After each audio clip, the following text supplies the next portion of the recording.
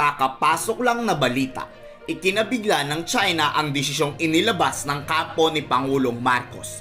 Desisyon na hindi na muling magpapalamang pa laban sa China. Hindi nga natatakot si PBBM na itigil ang udayan sa China kung madedehado lang ang bansang Pilipinas. Alamin natin ang buong detalye at panoorin ang buong video.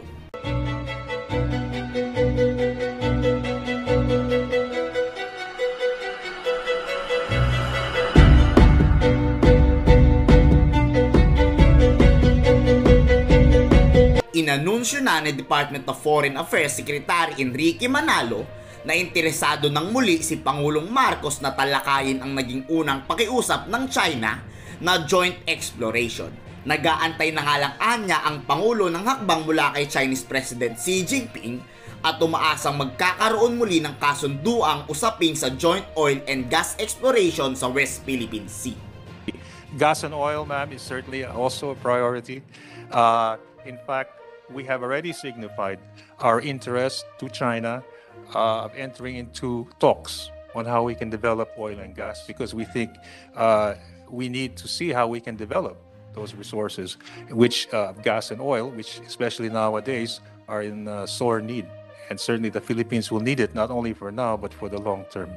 Nakakasigurado naman ang sambayan ng Pilipino na sisiguraduhin ni Pangulong Bongbong Marcos na hindi na muling sasang-ayon ang Pilipinas sa anumang kasunduan sa China kung malalamangan lang nito ang ating bansa.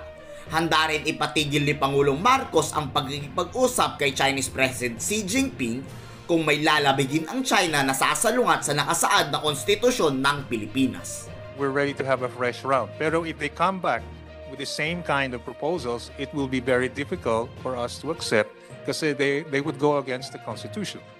And we tried in our end, if I could say it, we uh, insisted on application of Philippine law because West, West Philippine Sea is part of the Philippines, I mean that area. But I, I'm thinking that perhaps maybe if we continue talking, we might find a way forward. But our hope is that whatever agreement is reached, we will not agree to anything which is inconsistent or against the Philippine Constitution. We can agree to any kind of, of uh, terms or measures provided they are consistent and in accordance with the Philippine Constitution and Philippine laws.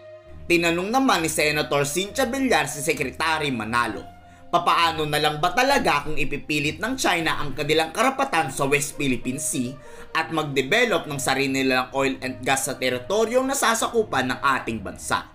Dinipensahan naman ito at nanindigan ng Administrasyong Marcos na patuloy na igigit at ipipilit ang karapatan ng Pilipinas. Idinagdag rin ni Secretary Manalo na mukhang hindi rin naman gagawin ng China dahil mahaharap ang kanilang bansa sa patong-patong na political at foreign consequences. I, I, I hope China does not try it because it would not only have an effect on that area, but it would have political and, and foreign policy consequences. And uh, I, I, and at any rate, I don't think China has ever suggested they would try because I think they know that may not only involve the Philippines but certainly other countries. Ayon kay Sekretary Manalo, magiging alinsunod sa konstitusyon ang pagpapatuloy ng joint exploration. Sa pagpapaulad nga kasi ito ng likas na yaman na sakop ng EEZ ng Pilipinas.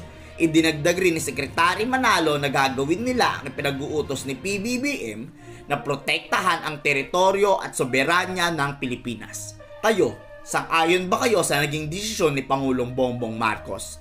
Paborin ba kayo makipagtulungan muli sa China ang Pilipinas?